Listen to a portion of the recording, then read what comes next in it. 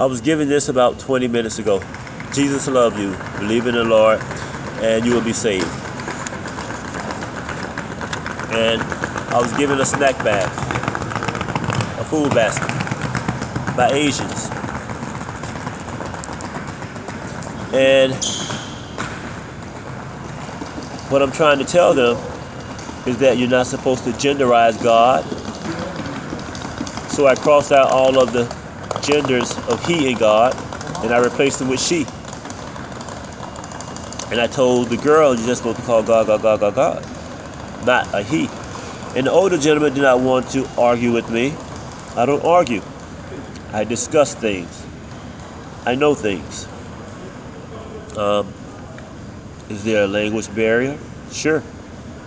I understand things very well.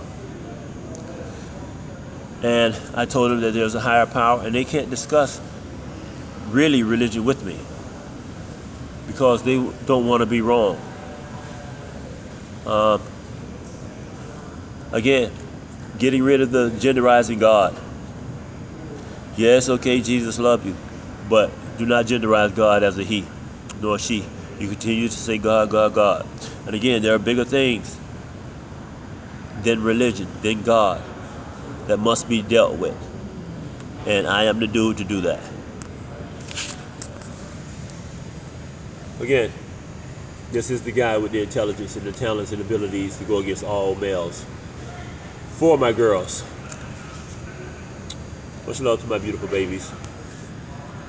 Um, got my outlet charging. Be here for about an hour or so.